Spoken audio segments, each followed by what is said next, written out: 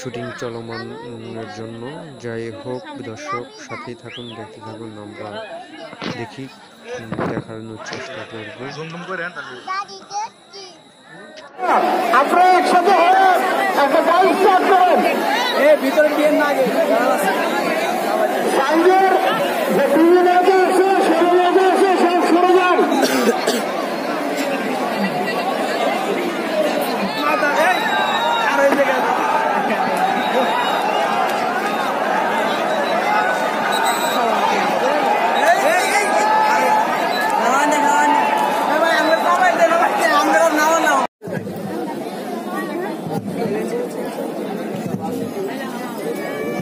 sull'inquadrato si chiamare quelle scelte